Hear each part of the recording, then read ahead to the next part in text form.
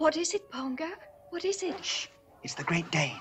He has news for us. He'll meet us at Primrose Hill. How will we get out? Uh, the back bedroom window. It's always open a wee bit. Come on.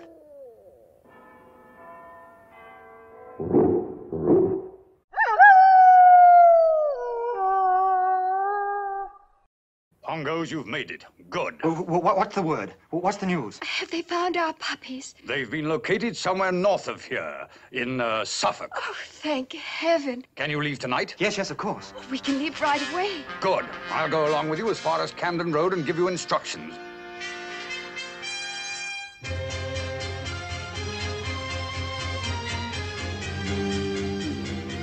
And when you reach Withermarsh, contact old Towser. He'll direct you to the Colonel, and the Colonel will take you to your puppies at the De Vil place. De Vil? The De Vil place? Oh, Pongo, it was her. Oh, someone you know? Oh, sorry, sir. There's no time to explain. Oh, I hope we're not too late. Good luck, Pongo. If you lose your way, contact the barking chain.